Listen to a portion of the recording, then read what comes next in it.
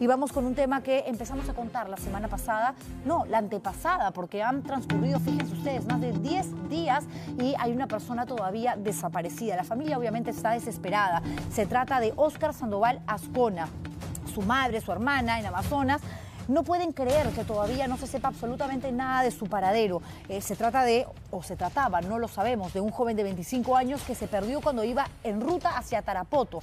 El vehículo había salido de Jaén, Cajamarca. Oscar eh, Sandoval fue a la zona acompañado a su amigo, que además era su jefe, cuyo cadáver sí fue encontrado hace unos días. Un huaico en la carretera produjo que la camioneta, hizo que la camioneta en la que viajaban fuera arrastrada por el río causó la muerte de uno, la desaparición de Sandoval, que repito, no sabemos si está vivo o muerto, pero la familia se ha tenido que trasladar hasta Bagua para presionar en la búsqueda del estudiante de administración de empresas, un chico, repito, de 25 años que trabajaba y que la razón por la cual estaba justamente viajando era porque no dejaba de laborar pese a la situación tremenda que se sigue viviendo todavía, sobre todo al interior del país, con lluvias intensas, con quebradas que se han activado, huaicos, entre otras cosas. Nosotros tenemos ahora mismo vía Zoom a Esther Cori. Ella es la hermana, la hermana de Óscar Sandoval, que está desesperada porque no le dicen absolutamente nada de su familiar y porque, repito, se ha tenido que ir a Bagua para pedirle a los rescatistas, decirle a la policía que no se cansen, que sigan buscando a su hermano. Finalmente hay algo que es verdad, sobre todo cuando uno quiere a alguien, ama a alguien, ¿no? La fe y la esperanza es lo último que se pierden. Muchas gracias, Esther, por estar con nosotros, sobre todo en momentos tan difíciles.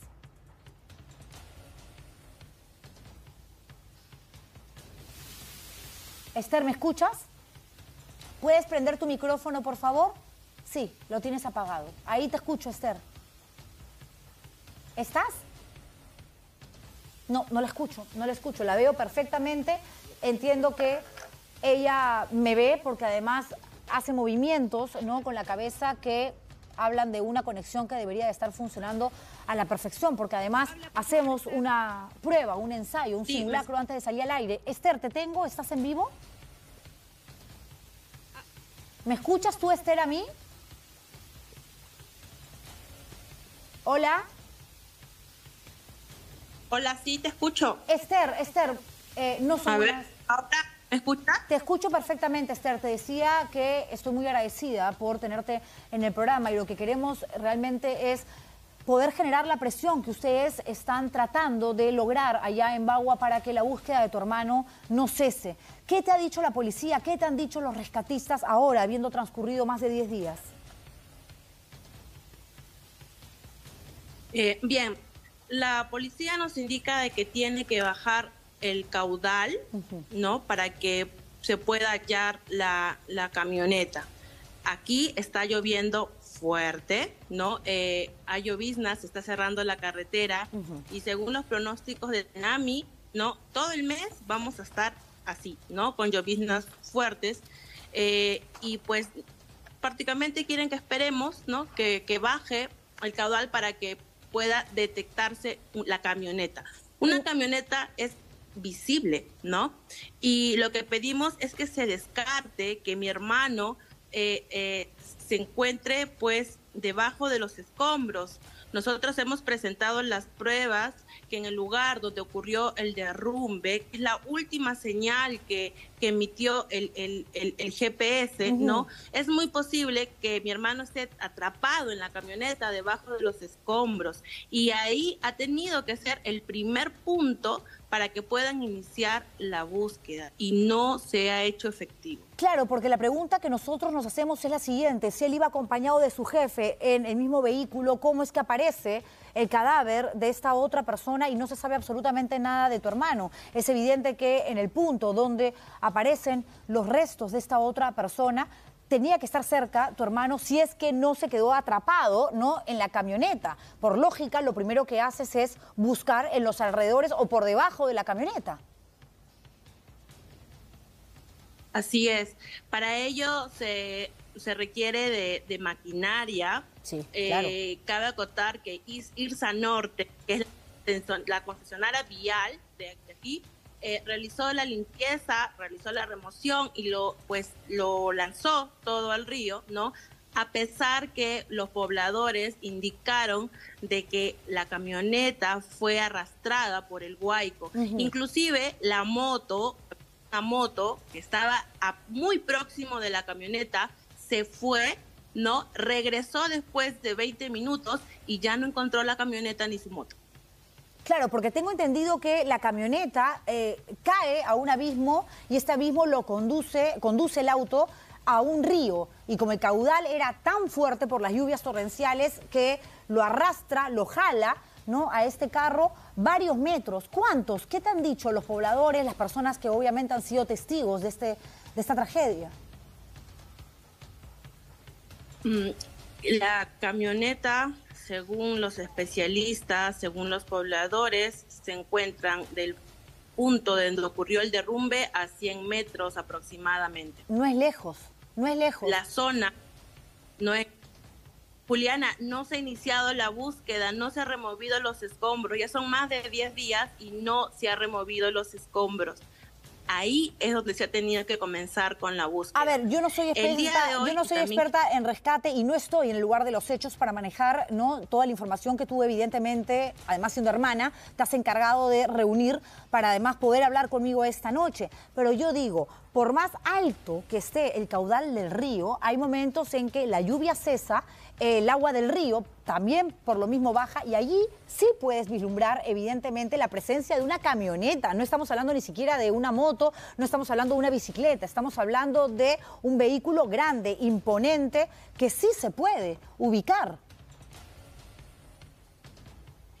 Sí, y además, Juliana, para comentarte que eh, dos kilómetros abajo hay dos rocas grandes, inmensas, que según los especialistas es pues imposible que la camioneta pase por ahí. ¿Qué te han dicho eh, otras autoridades a las que de pronto les has tocado la puerta? La policía ya nos has contado ha manifestado lo siguiente. Ahora nosotros no podemos hacer labores de búsqueda, de rescate, porque las lluvias continúan y tampoco nos vamos a exponer al peligro, porque además tampoco vamos a encontrar nada. Pero de pronto has ido a buscar al alcalde, has tratado de lograr algún tipo de vínculo, de conexión con el gobierno regional para ver si te pueden ofrecer la maquinaria pesada que se requiere para remover escombros. ¿Cuánto tiempo más vas a tener que esperar, Esther? ¿Y tu familia?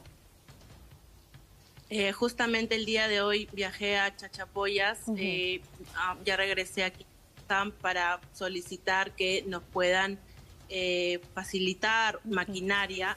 Hace unas horas pues confirmaron de que van a apoyar con una retroexcavadora este, para el día de mañana, pero se requiere el permiso de ir norte para que el día de mañana se puedan realizar los, los trabajos. Bueno, el permiso que venga ya, ahora o mañana a primera hora. Ya se tiene lo más importante que es esta maquinaria pesada, lo que viene solicitando la familia Cori desde hace rato. Entonces, mañana, señores autoridades, Ah, envían vía chat, eh, correo electrónico, vean ustedes la forma, dejando de lado la burocracia, porque aquí de lo que se trata es darle tranquilidad a toda una familia, porque en caso tengan que hacer un duelo, que me imagino que evidentemente a esas alturas es duro decirlo, Esther, pero te lo pregunto, hay pocas esperanzas de que tu hermano esté vivo.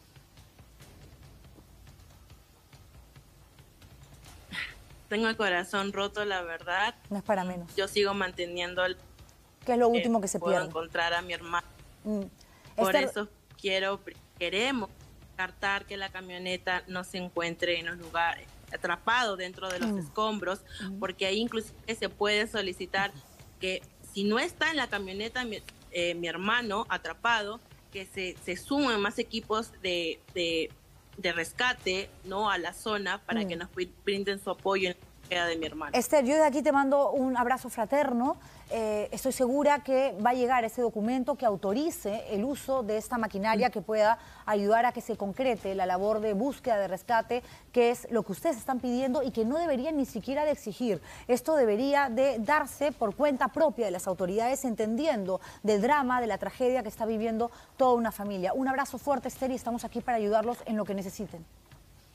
Cuídate mucho. Juliana, para fin Quiero, por favor, agradecer al, equipo de PNP Alta Montaña de Chiclayo, que a pesar de las condiciones climáticas, pues vienen realizando la búsqueda claro que sí, claro que Sí. Gracias, Esther. Un fuerte abrazo para ti. Qué tremendo realmente, ¿no? Y qué angustia no saber absolutamente nada y que los días transcurran y que esperes todas las mañanas en que alguien te va a dar la noticia de que se van a reanudar, ¿no? Los trabajos de búsqueda y que eso no pase por una y otra excusa y después la burocracia, que si llega el documento, que si me dan la maquinaria, por Dios.